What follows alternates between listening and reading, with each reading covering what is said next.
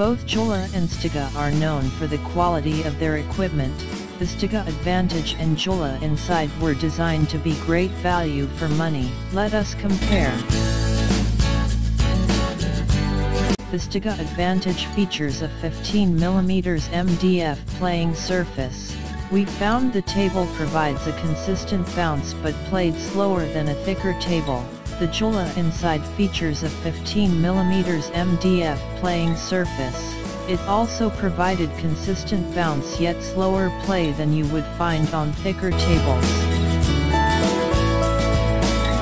The Stiga Advantage weighs about 180 pounds, making it almost 50 pounds heavier and sturdier than its competitor. Being heavier it is equipped with huge 3-inch caster wheels to provide easy mobility, the JOOLA inside weighs about 135 pounds. This puts it on the lighter side of tables. You are given 2-inch caster wheels to help roll the table from storage to assembly.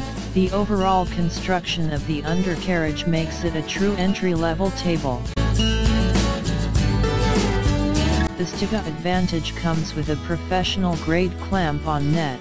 As we always say it's the net that makes the table and that's why we are questions the entry grade tag put on the Advantage. The net system that comes with the table is top notch and would make any recreational or intermediate player happy. The JOOLA inside comes with their patented quick assembly clamp net system. This makes for easy storage and assembly. It's a decent grade net that will keep any recreational player happy.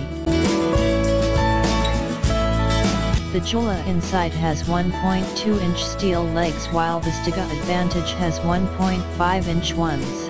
Both are powder coated, though, the Stiga Advantage has a 1.5 inch steel tube apron while the JOOLA Inside is equipped with a 1.5 inch resin apron.